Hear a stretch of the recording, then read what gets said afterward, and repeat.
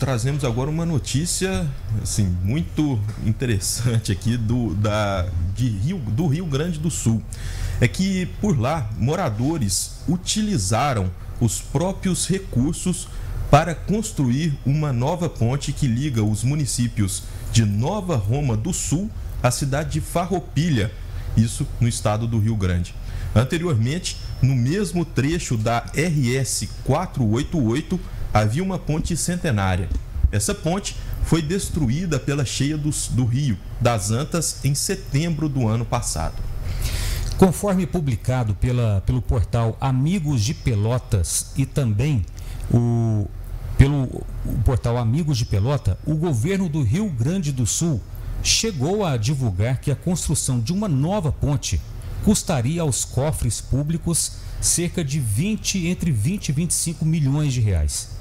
E as obras seriam concluídas entre 2024 e 2025.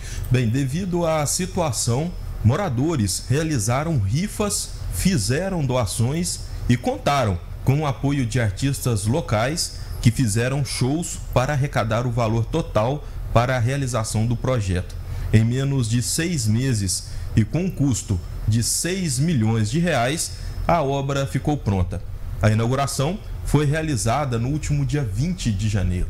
O presidente da Associação dos Amigos de Nova Roma do Sul, Tessaro, conhecido como Nico, revelou que a inspiração para a iniciativa veio dos antepassados que, com recursos limitados e tecnologia mínima, ergueram a ponte. Ele disse: tudo o que houve foi a redução de custos mas nunca reduzindo a qualidade do produto final, afirma ele, salientando o uso de 400 toneladas de aço e concreto na construção. Bem, para arrecadar todo o recurso foram estipuladas quatro metas: arrecadação via Pix, realização de eventos comunitários e religiosos, promoção de rifas e as doações de empresas, né, que foram elementos-chave para permitirem a rápida captação de recursos. Bem, empreendendo há mais de 30 anos no município, Tessaro relembra os desafios enfrentados pela comunidade ao esperar por mais de 40 anos para concluir 20 quilômetros de asfalto. Ele disse: não ia ser uma ponte que seria feita em um ano, dois ou três, desabafa o gaúcho.